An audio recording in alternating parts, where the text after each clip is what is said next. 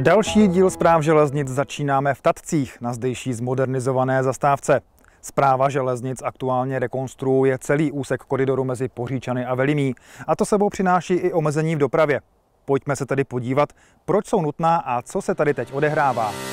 Hlavní těžiště prací nyní leží mezi Pečkami a Cerhenicemi a právě tady byl teď teprve po čtvrté v Česku nasazený i speciální stroj PM1000 plném nasazení, jako je to tady na té stavbě, tak dosahuje dílky 1200 metrů. Je unikátní v tom, že e, má přitěžící ještěry. Během pouhých osmi dní zvládne kompletní rekonstrukci železničního spodku a recyklaci svršku na třech kilometrech koleje. Všechno, všechno musí být připravený dopředu. A musí tam být provedený geotechnický průzkum, aby jsme přesně věděli, co nás tam čeká. Kdyby se pracovalo konvenční metodou se silniční mechanizací, omezení pro dopravu by byla mnohem větší a trvala by déle.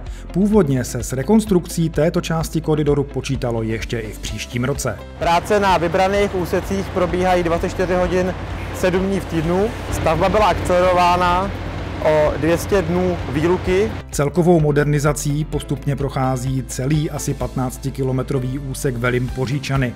Trať se musí zároveň důkladně stabilizovat. Celý násep se realizoval na bývalých rybnicích. Bylo nutné zřídit eh, štěrkové piloty v hloubce až 14 metrů, v celkové délce 96 km štěrkových pilot.